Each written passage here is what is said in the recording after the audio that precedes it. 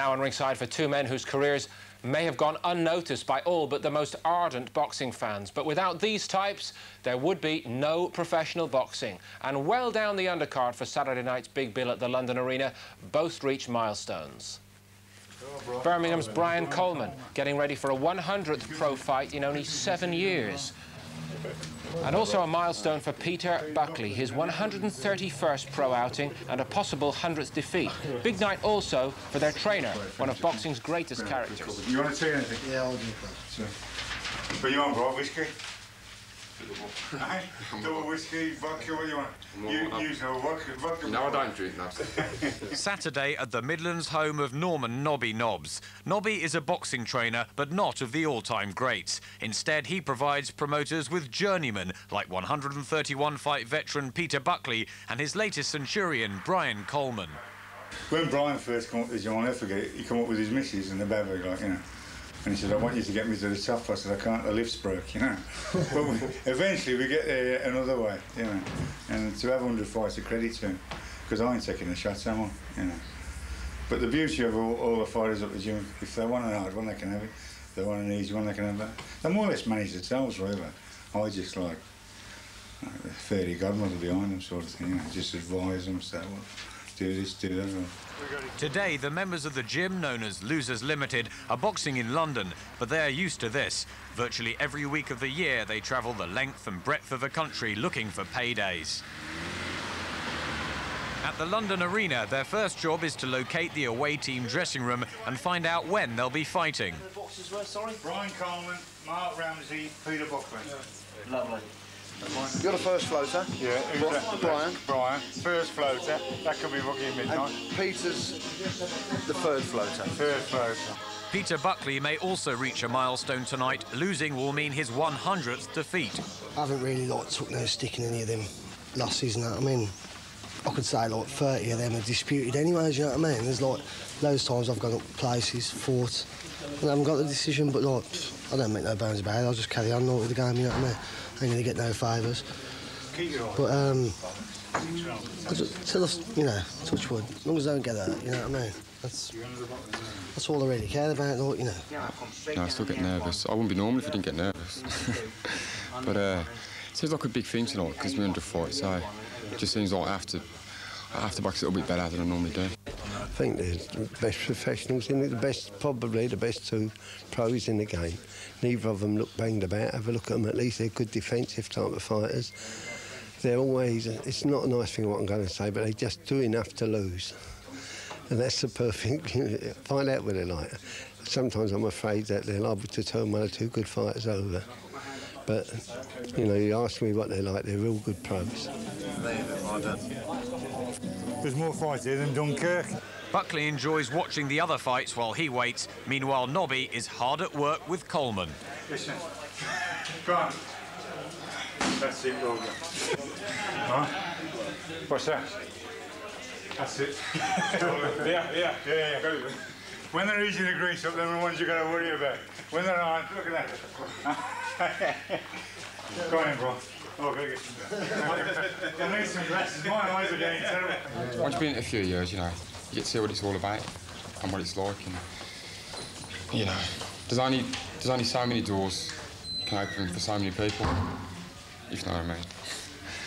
And I'm afraid I'm not one of them. Introducing firstly in the ring corner, fighting out of Birmingham, trunks. Tonight, ladies and gentlemen, appearing as a professional in his 100th contest, please welcome Brian Coleman.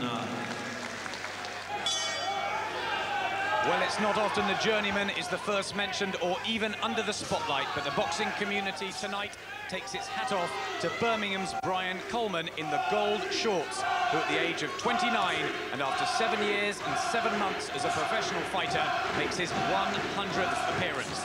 And as usual, he jumps in at the last minute to replace stablemate Carl Taylor. His opponents are never easy, and this one is a real prospect. His name, Steve Murray.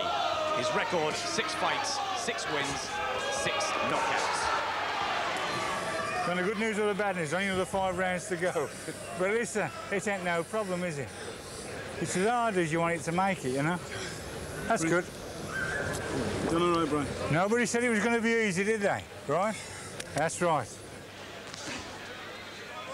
Definitely a big puncher, no doubt about it.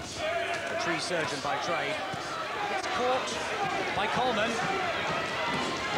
A couple of rights there. It was a good shot. Come back with a good shot. Oh, on low, go on, work away, bro. Work. There you go. Good shot. Well done. You all right, Steve? Well done. Just two rounds to go now, kid. Breathe it, breathe it. 23-year-old Steve Murray in the silver. The come forward, aggressive fighter. Coleman shakes his head. The journeyman from Birmingham. Come on, Brian, let's go. Straight back. Come on, kid. Come on, Brian. You're there now, kid?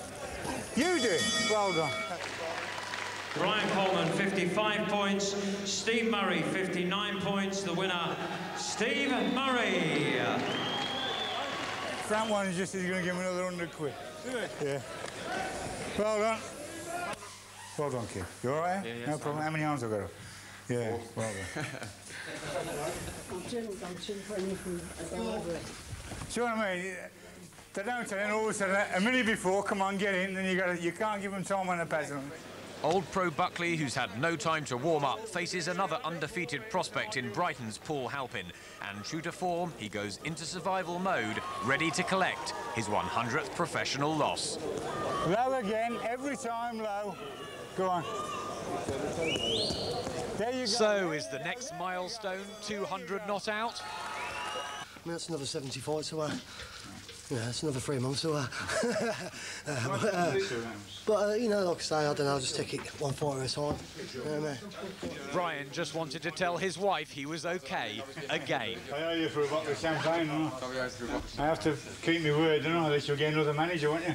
You'll go with Don King or somebody like that. Honest people. They've done what, they've done what they're good at, haven't they? They, they fought unbeaten fighters, fought them on their own ground, short notice, and they've done more than good, you know, I'm very proud You of give them. me a minute to warm up, didn't I? Yeah, minute to warm up. Use the game as it uses you. I mean, they want... If my kid got knocked out, everybody would have a laugh, wouldn't they? You know, all the promoters, ah. But you don't let them have that privilege. Once they start getting that privilege, it's time to pack it up, trainer, manager, boxers, you know. Never give them that privilege. The secret is to walk in and walk out. Boxing, warts and all, but we wouldn't be without it, would we? There's no future for the game without those sort of chaps, is there, Nicky? Oh, there certainly isn't. They are the bread and butter of this game, but they're, they're just unbelievable fighters. And uh, as they said themselves, take far less punishment than some boxers take in a whole career. Uh, Brian Coleman doesn't spar unless he gets paid for it. He doesn't box at all unless he gets paid for it. Very rarely gets hit. Peter Buckley the same. Um, as Peter Buckley said, they've won a lot of these fights but not got the decision. Um, they are true survivors who could have been, I think, great boxers themselves ha having been given the chance. Win, lose or draw, though, Brendan, what they've managed to do through these long professional careers is retain their self-respect. And Well, that they- what it's all about, Well, surely. it is, and, and again, to explain to, to explain to people that don't understand boxing or understand fighters, you've got characters like Nobby Nobbs. I mean, it's a battle of wits with Nobby. When you're fighting one of his fighters and he, and he comes in as a journeyman, and many a time he finish up turned over the favourite with his fight. So you got to watch Nobby like a like a, a car, he's like a cartload of monkeys. He finish up, he's in the corner. The minute the fight starts, he's around the other side trying to help, trying to help his fighter. And all of a sudden you'd have somebody, somebody winning and doing well, and nobody'd get around and say, do this, do that, and they'd do it. And I've seen turnovers with him, you know, where he's upset the apple cart and gone and beat the favourite. But only by accident. Only, well, he's gone and done it. Whatever way he's done it, he's gone and done it.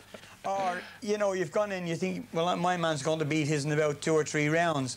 And he's grabbed and hauled and walked away, and the referee's come over, and now he started giving variables to the referee and breaking his concentration, and he pla plants men around the ring, which I think is great. And he adds to the game.